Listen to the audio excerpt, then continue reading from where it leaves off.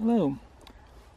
It's a cold morning today, and um, I'm just out in my local woods having a hike, and I'm just having a rest here at the moment. So I kind of thought I'll show you guys um, what knife I got with me today, um, pocket knife that is.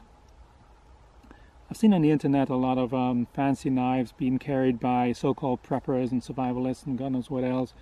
A lot of them are very fancy, um, you know, with titanium metal and fancy woods and um, a lot of them look like something that um, came out of Star Trek, you know, something that Klingon warriors would carry around with them.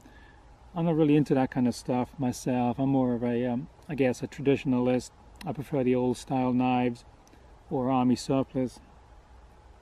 So what I got with me today is an army surplus knife. Nothing fancy. It's a um, British Army knife, um, clasp knife, pocket knife, whatever you want to call it. Just has two blades on it and it's made out of um, nothing fancy, it's just stainless steel.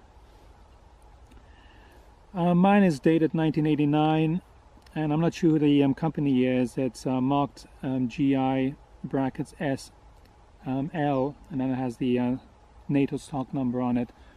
But I've had it for a few years and um, it's a really good knife actually for what it is.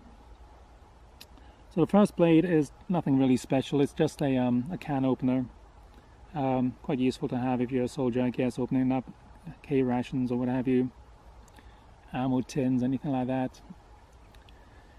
But the actual blade itself is a, um, I think it's about 2.75 inches in length.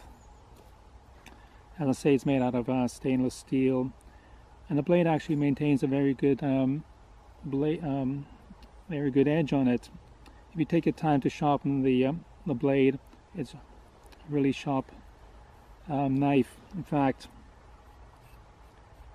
sharp enough to um, shave with. Um, not that I've ever tried to shave with it, but um,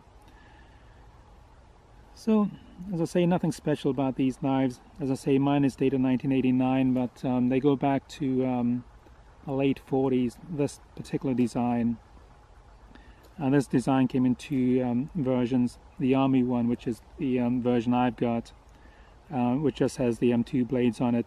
But there's also a, um, a Navy um, version which has a, um, a big spike on it, uh, which I believe is called a, a marlin spike, and they were used to unravel ropes. but the history of the knives go back way back before 1947. Um, they originally first came out in the early part of the um, 20th century. I think the first proper British Army knife came out in something like 1900 or 1905, and they were slight, they were similar to these, but they had different grips on them. As I say, mine is a late 80s version, and um, it's a handy knife to have if you're out and about in the woods or if you're camping. It has a very good sharpness to it and it's a very useful tool to carry with you. It's um it isn't a lightweight by all by no means. I mean it weighs I don't know maybe two three ounces whatever and it has a lanyard ring on the back of it so you can tie it to a string and um, have it more secure. Um, there's a little um, instruction on the side here to oil the um, joints. Um, you really need to keep the uh, joints oiled because they, the knife becomes very stiff otherwise. It's not a lock um, blade. it um, doesn't have a locking mechanism to it, but the um, the um, joints keep a very firm grip on the um, blade, so it's quite a hard knife sometimes to close. And you really got to be careful you don't cut your finger with it. I mean, it's a very stiff um, action to it but I mean I've seen worse but um, it's what the um, British call um, UK legal. So it's um, a knife I can carry in this country legally without getting hassled by the uh, police um, because the blade is below um, three inches and it's non-locking.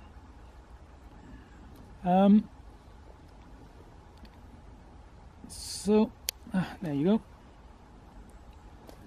always wanted a um, Army Camillus knife, but um, the Camillus very similar to the um, Boy Scout knife I had a, as a kid. Um, I had an Ulster um, Boy Scout folding knife.